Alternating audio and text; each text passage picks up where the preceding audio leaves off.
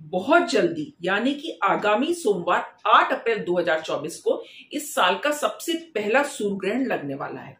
यह सूर्य ग्रहण खास इस बात को लेकर है कि यह सूर्य ग्रहण पूर्ण सूर्य ग्रहण होने वाला है।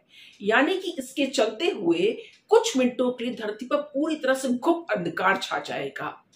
साथ ही इस तरह का सूर्य ग्रहण 50 साल के ऊपर उपरांत आ रहा है। और अगली बार इस तरह का सूर्य ग्रहण प्रिडिक्टेड है कि अब 2078 में होगा। यानी कि 2078 में इस तरह का सूर्य ग्रहण अब अगली बार अपेक्षित रहेगा। आखिर सूर्य ग्रहण का टाइम भारत में क्या रहेगा? यह दुनिया के किन किन देशों में दिखाई पड़ेगा? भारत में दिखाई पड़ेगा कि नहीं दिखाई पड़ेगा? सूर्य ग्रहण के दौरान गर्भवती महिलाओं को किन बातों का ध्यान रखना चाहिए, क्या नहीं करना चाहिए और क्या करना चाहिए? इस वीडियो के माध्यम से मैं डॉक्टर श्रुति, बतौर डॉक्टर, बतौर स्त्री रोग विशेषज्ञ आप सभी के साथ यही इंपॉर्टेंट इन्फॉर्मेशन शेयर करूँगी। अगर आप ये सारी जानकारी पाने के लिए इच्छुक हैं तो मेरे साथ वीडियो के आखिरी तक ज़रूर बने रहिए। तो चलिए अब सीधे शुरू करेंगे। सबसे पहले समझेंगे कि सूर्य ग्रहण आखिर होता क्या है और क्यों होता है। तो सूर्य, चंद्रमा और पृथ्वी, ये सब अपने अपनी धुरी में यूँ ही घूमते रहते हैं।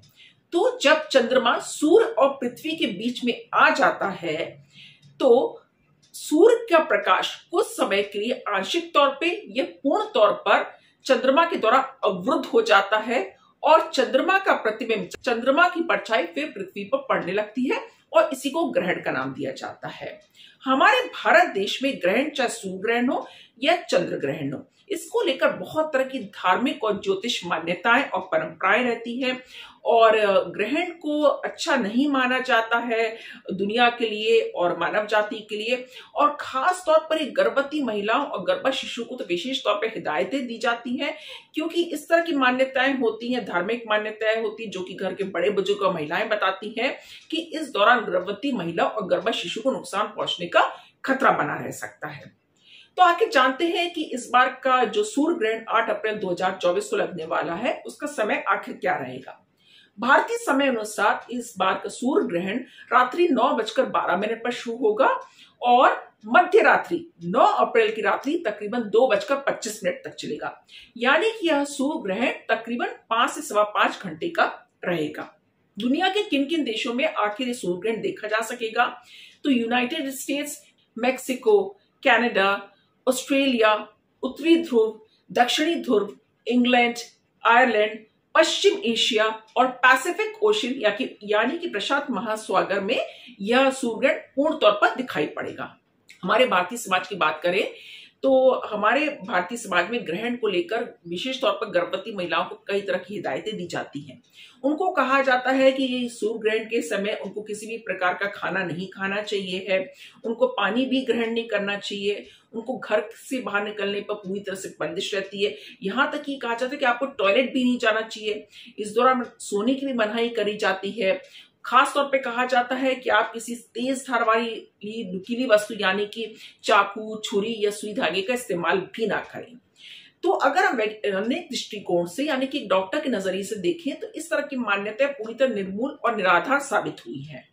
लेकिन फिर एक मानवीय पहलू को देखते समझते हुए मैं बतौर स्त्री रोग विशेषज्ञ, बतौर डॉक्टर भी आपको ये समझाना चाहूँगी कि हमारी जो मान्यताएँ चली आ रही हैं, जो घर की बड़ी बुज़ुर्ग महिलाएँ कहती हैं तो उनका मन रखने के लिए बस, ताकि घर में अच्छा वातावरण बना रहे और किसी भी प्रकार का द्वेष या कलेश ना हो तो जिन मान्यताओं का मानने में आपको किसी प्रकार की कोई दिक्कत नहीं हो रही है, उनको आप निसंकोच मान सकती हैं। उदाहरण के तौर पर इस बार का जो सूर्य ग्रहण है, वो भारतीय समय अनुसार रात्रि में शुरू होकर रात्रि सवा नौ बजे तकरीबन शुरू होगा।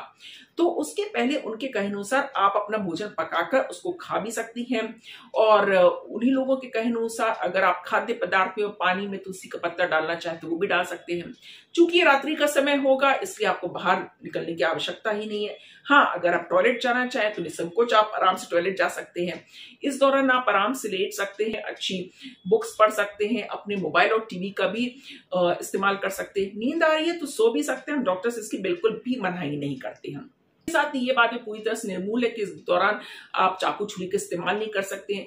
पुराने जमाने की बात करें तो उस समय ग्रहण के समय गुप्त अंधकार चाह जाता था, इसलिए गर्भवती महिलाओं को घर से बाहर निकलने के लिए मना किया जाता था। उस समय टॉयलेट भी घर के बाहर होते तो इसलिए उनको टॉयलेट जाने के लिए मना करा जाता था। और चूँकि अंधकार में आपके साथ कोई दुर्घटना ना हो जाए, इसलिए आपको तेज धार वाली या नुकीली वस्तुओं का इस्तेमाल करने से मना किया जाता था। लेकिन इसका कोई भी वैज्ञानिक आधार तो बिल्कुल भी नहीं है। इस दौरान गर्भवती महिलाओं को आखिर किन किन बातों का ध्यान रखना चाहिए? इस दौरान ही क्यों? हम तो पूरे नौ महीने के प्रेगनेंसी के पीरियड में कहते हैं कि गर्भवती महिला और गर्भा शिशु के चारों तरफ़ एक बहुत ही सकारात्मक पॉजिटिव एनवायरमेंट होना चाहिए। इसके लिए आपको हमेशा ही अपने आसपास अच्छे लोगों की संगति बना रखना चाहिए। अच्छा म्यूज़िक सुने, अच्छी किताबें पढ़ें ताकि आपको पॉजिटिव थॉट्स और पॉजिटिव वाइब्रेशन हमेशा ही बने रहें। और ग्रहण के दौरान आप चाहें तो अगर आपकी धार्मिक प्रवृत्ति है तो आप मंत्रोच्चार भी कर सकते हैं मेडिटेशन भी कर सकते हैं। इससे आपको हाई वाइब्रेशन उसमें रहेंगे तो यह आपके गर्भा शिशु के लिए बहुत ही लाभकारी सिद्ध हो सकता है। सबके बावजूद सबसे महत्वपूर्ण बात यह है कि इस बार जो सूर्य ग्रहण है, वो भारत में नहीं दिखाई पड़ेगा। और ये रात्रि का भी समय रहेगा तो सूर्य ग्रहण नहीं दिखाई पड़ेगा। इसके बावजूद कुछ लोगों की घर में मान्यताएँ होती है कि ग्रहण तो पड़ ही रहा है, भले हमारे भारत देश में नहीं दिखाई पड़ रहा, पर दुनिया के किसी कोने में तो दिखाई पड़ ही रहा है। तो ये स्वयं गर्भवती महिला और उनके नाते रिश्तेदारों पर निर्भर करता है कि आप उससे जुड़ी मान्यताओं का पालन करना चाहें तो पालन कर भी सकते हैं। बस इतना ध्यान रखिए कि मान्यता के चलते जो गर्भवती महिला, उसके गर्भ शिशु है, और उसको किसी भी प्रकार की दिक्कत का सामना ना करना पड़े।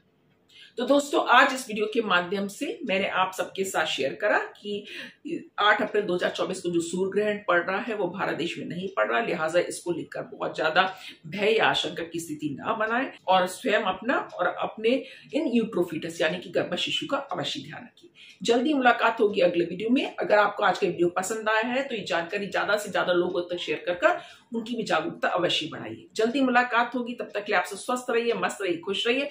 Stay healthy stay happy. Bye bye for now. We'll see you all very soon. Bye bye.